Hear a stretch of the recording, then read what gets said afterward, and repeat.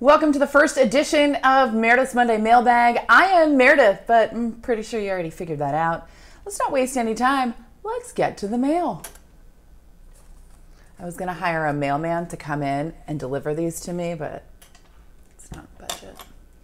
A lot of great questions. Want to thank everyone that reached out, whether it was Twitter, email, Instagram, Insta stories. Hopefully, I can get to a good amount, but I must warn you I don't know if you've heard. Gerrit Cole is throwing in his first spring training game today, so I have to get to the field, but we will take about five to 10 minutes of your questions. We'll start this one off with Johnny12367. What happens to Clint Frazier? Interesting question. He's certainly vying for a spot on the roster right now, but Clint had a really mature approach this spring, saying, I know my defense needs to get better to be on this major league roster. That's been a big focus of his in the offseason. It'll continue to be a focus of his this spring, but he does have a shot at making the team right now with Aaron Hicks out. It looks like Mike Tauchman is 100% healthy. Expect he'll be on the roster, but Clint Frazier, without a doubt, a guy to keep an eye on. If there is not a spot on the roster, he does still have options so he could find himself in the minor leagues, but Frazier certainly doesn't want that to be his reality. Jay Bonko 81 says, Is there any news on Luis Severino? Well, Luis Severino flew to New York. He'll be there over the next three days. Aaron Boone and Brian Cashman both reiterating he's going to undergo a variety of tests, and the Yankees are hoping to get some more answers. He will see a couple of specialists. Right now, it's still a question mark when it comes to Severino. He was asked in the clubhouse before he left for New York where exactly the pain is, and he said it's more up here on his forearm. It's not down by the elbow, so that perhaps is one thing that's encouraging. Also, something Severino said that leaves him a little bit encouraged while frustrating. It doesn't happen all the time. It's not constant pain. So they wonder if there's a nerve or something like that involved. Hopefully, the Yankees will have some more answers over the next couple of days. But he is expected to be such a big part in that rotation. Everyone collectively around Yankees land pretty much holding their breath and crossing their fingers that it's good news when Severino gets those results back.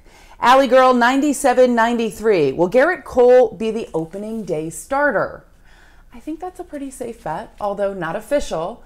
It looks as though that will be the case. And you don't go out there and get that type of free agent pitcher unless you intend on having him be the ace of your staff and that guy that starts things off. So I would be extremely surprised if for some reason Gerrit Cole isn't the opening day starter. Uh, the only reason that would happen in my mind would be some unforeseen circumstances, which the Yankees do not want to be the case.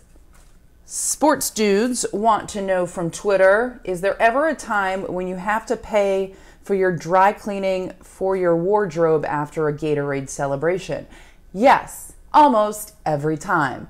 I think the Yes Network would pay for it. However, for anyone that follows me on Instagram, you know sending in expenses are not exactly uh, my strong suit. So I probably have lost out a little bit over the years on some dry cleaning money, but you know, if I'm getting hit with Gatorade or I'm getting drenched with champagne in the clubhouse, that means good things are happening. Yankees fans want that. Is it great going home soaking wet sometimes with Gatorade all over you? Not ideal, but it's fun. It's fun for all parties involved. And I think the worst postseason when they advance to the next rounds and I get crushed with beer and champagne and all that stuff. I mean, people would pay a lot of money to be in on that situation. And it is fun. And obviously, I get to do all the interviews with the guys who are extremely excited. But one player came up to me last year and said, You know, we wouldn't do this if we didn't like you. So uh, I'll wear it like a badge of honor. And a lot of times, postseason, I will change and I'll always have a change of clothes with me, but I'll change into something that maybe isn't the best. So if it gets ruined, it gets ruined. And a lot of times I wind up just throwing that stuff away because I can't always rinse it out right away if we're traveling to a new city. Uh, but enough about my wardrobe. I'm taken care of. Don't worry about it. But thanks for asking. Loose Stool 420 wants to know where does Miguel Andujar fit in with this team? Well, he has such a great bat. You saw him hit his first spring training home run yesterday, and that had to feel good for him. It seems as though Miguel Andujar, everything he said, the way he has looked, appears to be 100% healthy. Now, Gio Urshela came on the scene yesterday and really, yesterday, last year and really opened up some eyes. Third base right now is his to lose, but I do believe there's a way that Andujar could stick on this roster and the Yankees can get his bat in the lineup. He's been taking some ground balls at first base. He's been working with Tino Martinez over there. He's also been out in left field doing some outfield work. He said it's getting a little bit more comfortable every day. So that's a way. Also, that DH position. So the Yankees, if Andujar is healthy, they want that bat in the lineup. They're going to try to find a way way to rotate him around to make sure that he is a part of it. But it's going to be a transition for Andujar. He's never played first, he's never played the outfield. He has DH'd a little bit, uh, but it'll take some uh, adjusting for him. But he's been very candid in saying anything the team needs me to do, I want to be a part of this roster. So that is something to keep an eye on. Maria Cecilia wants to know. Now we're, we're going over to the other side. First base, Ford or Voit? Same like with Gio Urshela, I believe the same with Voit. If he is healthy, which he appears to be healthy, he said he feels good uh, after having that surgery in the offseason. It is his job to lose. I believe he will be the everyday first baseman, but I do believe that there is a chance that Ford could break with the team and be on the roster. He showed last year that he is certainly capable offensively. He was serviceable at first base. He is somebody that the Yankees could decide they want another option off the bench, another bat off the bench. The only problem with Ford is he can really only play the role of first baseman, possibly DH. He's not as versatile as some of the other guys. So that could perhaps play uh, in someone else's favor. But uh, Mike Ford will definitely get a look this spring. This one's coming from Instagram. Leo F. Dot. Will Aaron Judge fight Altuve in, in, in the octagon? Really, dude? I would say there's probably a better chance of you fighting Chris Harrison in the octagon. Thank you for reaching out. Thank you for the question. I know you're a huge Yankees fan. This one's coming from Instagram Music Playa 43. Will prospect Deivi Garcia have a real shot of making his major league debut this season? I think so. If I were a betting woman, which I'm not a betting woman. I'm the weirdo that goes to Vegas and doesn't even play like a penny slot. But if I were a betting woman, I would say at some point in time you will see Deivi Garcia. I would be extremely surprised if you saw him with the big league club coming out of spring training. I think the Yankees organization as a whole thinks he has a little more finishing off to do, a little more seasoning uh, in AAA. And you saw when he came up last year, he did struggle a little bit. Some people within the organization think that it could have been a, a, little fatigue throwing a lot of innings. It could have just been getting to the next level and having hitters adjust on him.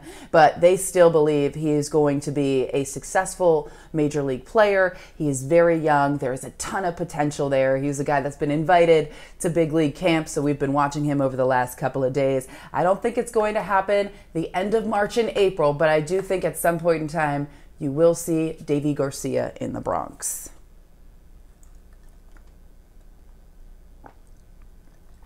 Oh, this one's more of an observation from P. Lloyd Jr. off of a picture of me standing and interviewing Aaron Judge. Wow, that's one of the people that you seem short next to. I get it. We're both tall. It's true. Yes. I have heard over the years, how's the weather up there? I'm tall, very tall. Um, let's see here. It's another one who's going to play third. We already answered that. Oh, okay. Rocket PE Bird 18. Which pitcher are you most looking forward to interviewing? This is a toss up, but based on the current climate, I would say Luis Severino because I want to know what is going on with his injury. So I'll put Severino first, just from a news perspective, but also I'm really looking forward to talking with Gerrit Cole more, just seeing how his mind works. You can tell every pitch he throws, even if it's just in a bullpen session, is meaningful. There is something behind it. He is so dialed in. Uh, I know my colleague Jack Curry is hoping to sit down with Cole and David Cone. That's going to be must see TV, but I too am looking forward to hearing what Gerrit Cole has to say after starts. NYY Highlights wants to know Is the game with Gerrit Cole making his spring debut, ugh, debut televised tonight?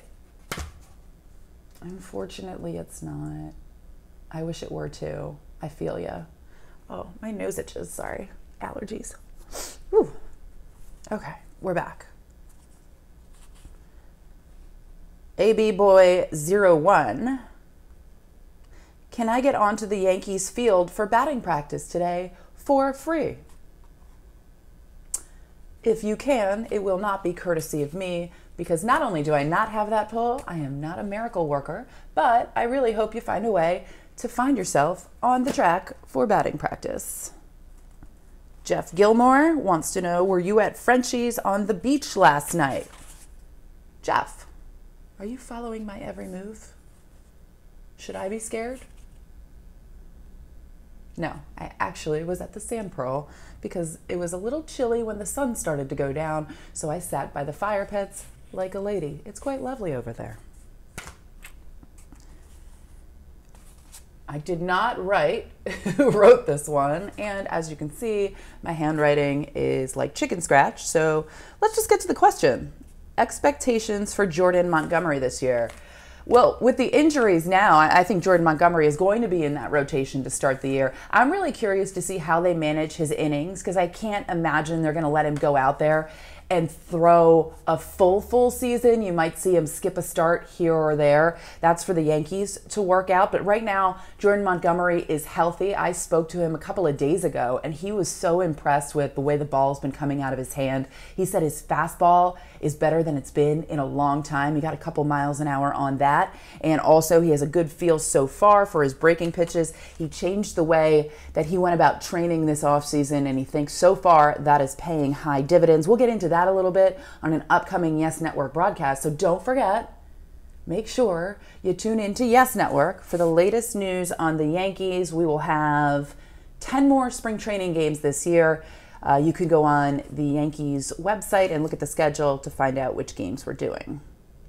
Oh, Anthony, this is a good one. Should Suzyn Waldman be in the Hall of Fame?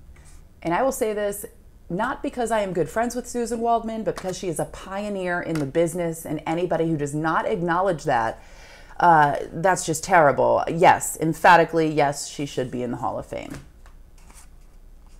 Ooh, two left, two left. Let's do this one. Uh, JJ wants to know Will Gardner start in center field until Aaron Hicks gets back from that injury? yes, I think you are going to see a lot of Gardner in center field, but I also think you could see some Mike Tauchman in center field. They really like his defensive ability at any of the spots in the outfield, and I think it's really going to depend on what's going on around him. Is Aaron Judge healthy? Is Giancarlo Stanton healthy? Who's healthy? Who's available to play the field? And then also where they are playing could factor into it. Some of the fields with a little bit of a bigger outfield, you could see the Yankees position different people, uh, whether it be in left field or center field. But I think it'll be mostly Gardner, and then you could see some Tauchman kind of sprinkled in there as well. Yankee pinstripes for the final question today. Favorite restaurant in NYC? Guys, I don't get out that much. So I don't know that I have a favorite restaurant open to suggestions.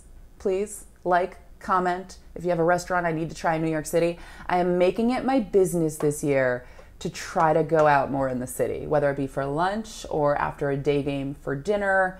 I just don't get out enough because I work until like midnight every night. So I leave at 1.30, 2 o'clock, and then I get back at midnight. And most of the restaurants are closed by uh, don't feel bad for me. I have a pretty cool job. I am not complaining. I will say though, I go to um, Avra a lot. It's Mediterranean, a lot of great seafood.